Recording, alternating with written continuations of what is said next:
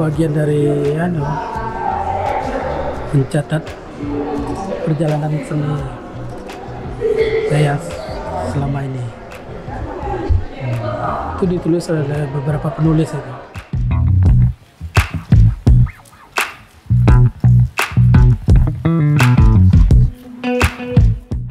Yang udah berjalan sekitar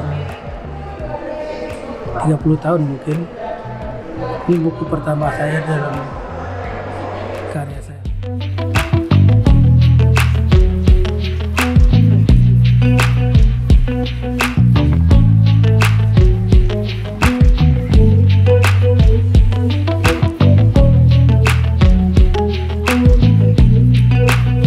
This is, I think, it's really uh, important for an artist to have a reference of literature because book it's not for us.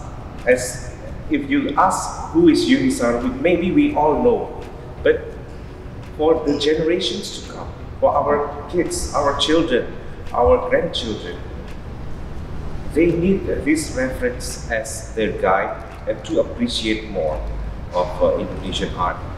This is why uh, I think the, the, the role of uh, international galleries like uh, Gajah Gallery is also uh, very important in uh, Indonesian art scene.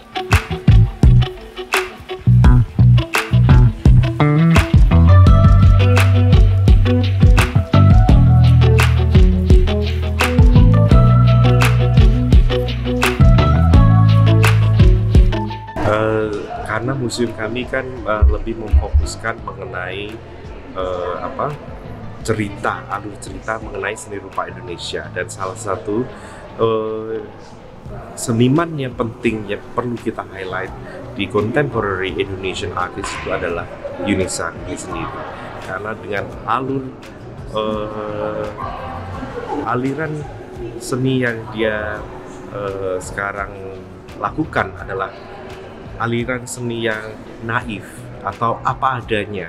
Ini kan sangat-sangat lain daripada seniman kontemporer lainnya yang selalu memikirkan konsep, selalu memikirkan eh, pesan di balik eh, lukisannya itu apa. Tapi kalau Yunisar eh, senimannya itu apa adanya, lukisannya juga apa adanya.